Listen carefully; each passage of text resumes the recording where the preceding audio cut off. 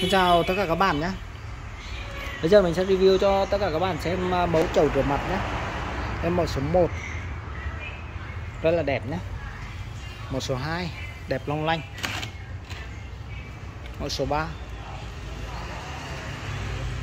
Mẫu số 4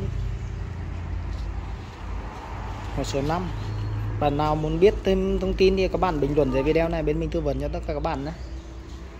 Mẫu số 6 màu số 7 cái màu số 8 màu số 9 màu số 10 màu số 11 rất là đẹp cả nhà nhé ở bên mình có cái loại à, này thì kết hợp với bàn rồi. Và bàn này là bàn đá nhá. Bàn này trồng xước rất tốt. Đấy là cái kéo đây kéo rất sắc cả nhà này. Rất sắc nhá. Mica này đấy mình cào mảnh đấy. Các bạn xem này không không có xước đâu nhá. Đấy sản phẩm chất lượng cao. À, các bạn mua cái bàn này kết hợp với cái, cái này thì nó, nó là bổ rồi. Một bổ như thế này thì mình không cần phải à, cắt đá nữa.